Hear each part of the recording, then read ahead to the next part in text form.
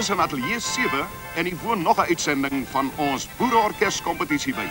Die gasheer Taffy Kekillis.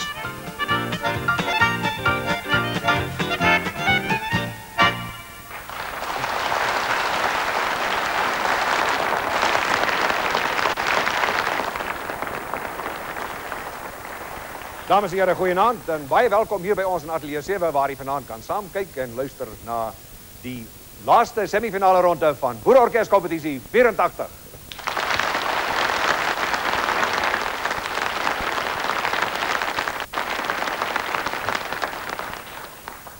En vanaand is eintlik 'n baie groot aand. Ek het verlede week geluister en gekyk hoe Nico van Rensburg en Manny Bodenstein kragte meet en dit was vir jou sommer 'n uitspook daardie gewees. Nou ja, die resultaat was natuurlik dat uh, Nico van Rensburg het 76 punte behaal en Manny Bodenstein kort op sy hakke met 75 punte. Maar nou ja, vanaand is hier weer twee ander bulorkeste wat gaan kyk of hulle ook kan deurdring tot daardie laaste twee plekke want jy weet na hulle vanaand uitgespeel het dan sal die beoordelaars vanaand beslis watter twee orkeste die hoogste punte totaal het. Maar kom ons kyk wie se orkeste. Dit is die Suid-Afrikaanse Polisie Boerorkes.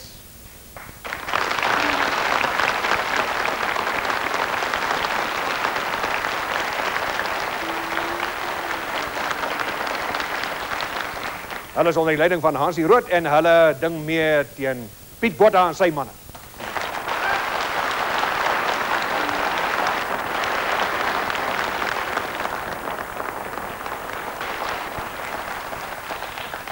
En die manne wat u al so goed ken, die manne wie se taak 'n gewigtige taak dit dit uh, uh, werklik is om te besluit watter twee orkeste in die finale ronde gaan meeding. Daar sit hulle daarbo, dis ons beoordelaars. Hulle is onder die leiding van meneer Henny van Logrenberg. Langs om Besmarten. Niels Stein. Nico Carsons en nog steeds die tiener Dan Aniaus.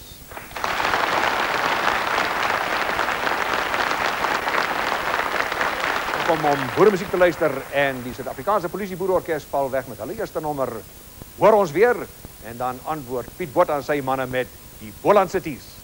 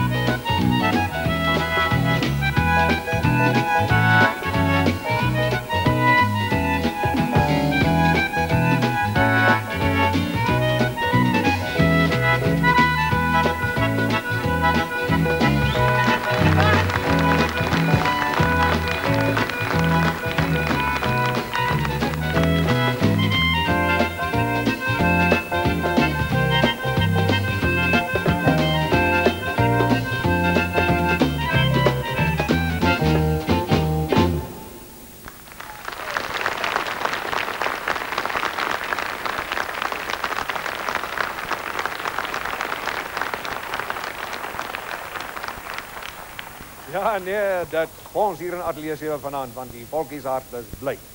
Ek kan sommer sien hoe juk die manne se voete soos hier vanaand sit by ons. Ons hoop julle tuis ook. Nou ja, nou sonder meer oor na die tradisionele afdeling en dit is waaroor boeremusiek eintlik gaan. Met ander woorde, die uh, tromme en die elektriese kitare word nou op sy geskuif en die manne gaan nou wys wat hulle in hierdie opsig kan doen. Die Suid-Afrikaanse Polisieorkes val dan weg met 'n nommer wat so reg vernoem is, naamlik Vals van die Ou Tyd en dan antwoord Piet Botha aan sy manne met Sonop.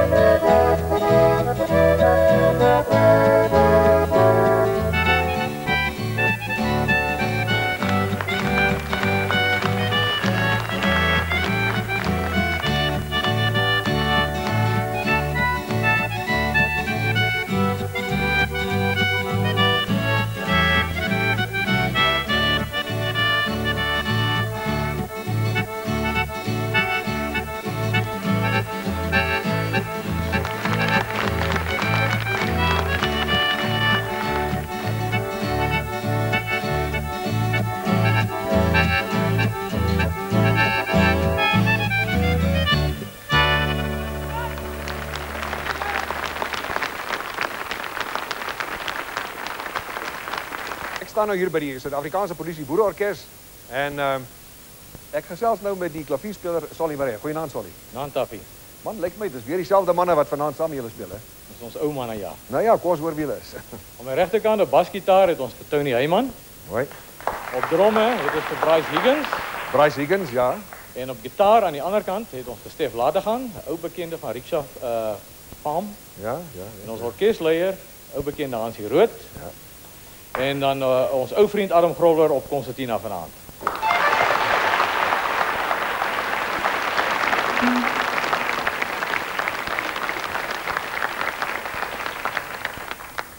Ja, maar baie dankie. Uh julle man is reg vir die dinge. Ons is baie lus vir die storie. Mooi skoot. Nou wat is julle volgende nommer? Ons volgende nommer Taffie is die Misvloer se tees. Maar misvloer dan tot dagbreek toe.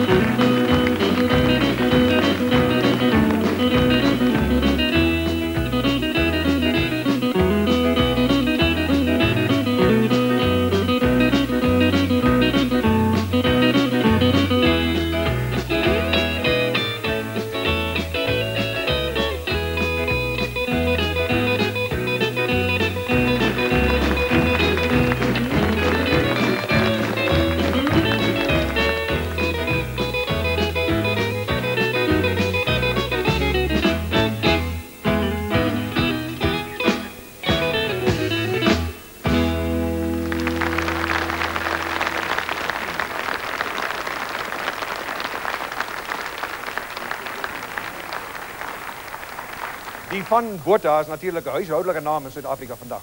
En hier staan ek by nog een, maar sy naam is Piet Botha. Hallo Piet. Nantaffie. nou ja, Piet, uh, wat dink jy van die oppositie vanaand? Dit lyk my julle man is reg vir die dinge. Nee, ons is lus vir mekaar. Nee, maar mooi. En sê vir my, uh, julle het nog dieselfde manne. Jou orkes is ook nog dieselfde. Ja, nee, is almal ook, ook ou manne. Nou kos hoor hulle name. Kos hoor gou. Uh, op die gitaar agter het ons vir Johan van Vieren en dan langsom op die tromme het ons vir Johnny Marits. Ja. Uh, op die basgitaar het ons vir Frans van Skeepers. Uh Jean Latimore doen die byklanke en op ritmegitaar en konsertina het ons vir Eddie Basson. Ja, maar mooi skoot. Ja.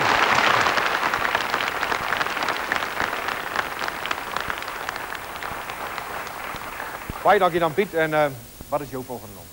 Uh Taffie, ons doen vervolgens uh 'n eie komposisie en ons noem dit Vals Jolite. Vals Jolite is dit dan.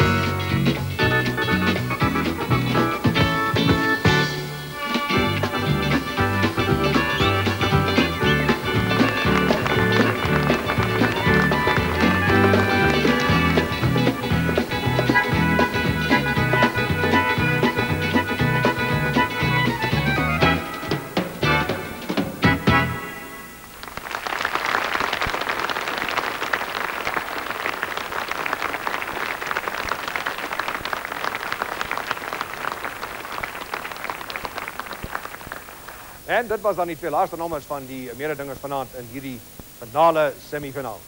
Die Suid-Afrikaanse Polisie Boerorkes het 'n uh, baie wakker nommer gespeel, naamlik Verlange. En uh toe Piet Botha aan sy manne geantwoord met Vat so manne. En ek dink hierdie twee orkeste verdien 'n baie goeie applous. Kom ons gee hulle applaus.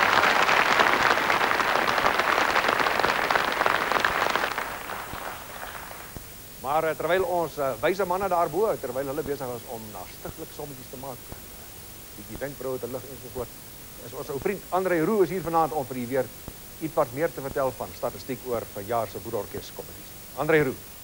Ja, Taffie. Uh 'n hele klompie interessante dinge het na vore getree uit ons boerorkes kompetisie en nie minder as 307 spelers het in totaal in ons kompetisie deelgeneem nie. Uh en van die mense is 46% gebore in die Kaap-provinsie, 40% in Transvaal, en 9% in die Vrystaat, 3% in Natal en vier spelers selfs uit die buiteland. En die paar persent wat nie daar is nie, is mense wat blykbaar nie weet waar hulle gebore is nie, want hulle het nie opgeskryf nie. Verbasend genoeg is die gewildste komposisies, die vyf gewildste in die volgende volgorde wat al die orkeste gespeel het. Dis nou nie net die nommers wat ons op televisie gehoor het nie, né? Nommer 1, die ou bekende Suikerbossie. 2, Valwit Pensie Mazurka. 3, die Jampot Polka. 4, Letty Brandse Tees en 5 die Jacaranda Vastrap. En dan die vyf gewildste komponiste was die ou baanbreker van Harris eerste, Fanie Bos tweede, Nico van Rensburg derde, Hans Bodenstein vierde en Rassie Erasmus vyfde.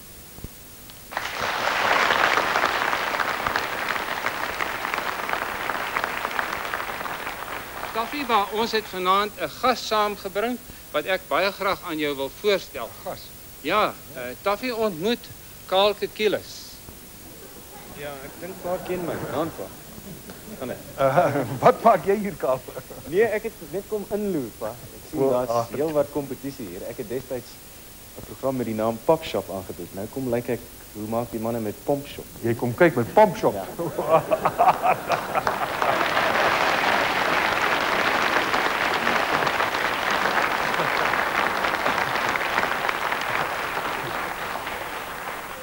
Nou ja, daardie gehoor, uh, ja, uit die mond van die jeug kom die wysheid.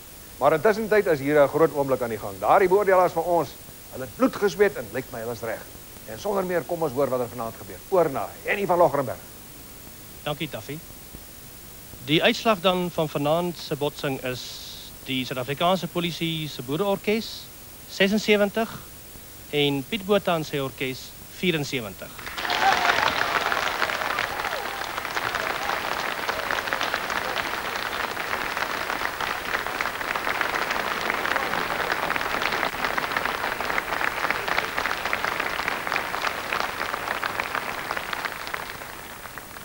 Die punte wat die onderskeie orkeste in die semifinale rond is behaal het is dus as volg: Piet Botha 74, Mani Bodenstein 75, Nico van Rensburg en sy orkes 76 en die SHP Boereorkes ook 76.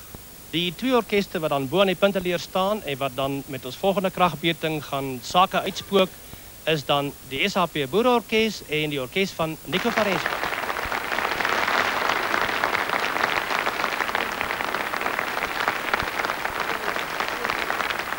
Dames en here, en hier in Ateljee 7 is die spanning onmiddellik gebreek want die wenners is sopas aangekondig, naamlik die Suid-Afrikaanse Polisie Boereorkes en aan Hasie Roodle leier sê ons, "Veel geluk julle manne." En aan uh, Piet Botha, julle was waardige verloders en volgende keer weer probeer. En nou terwyl die uh, wenorkes vir ons dan 'n bonusnommertjie speel, vra ons ons gaste hier in die ateljee om so 'n draaitjie op die vloer te kom maak en dan tot volgende keer wanneer die finaal uitgespook word. Goeienaand.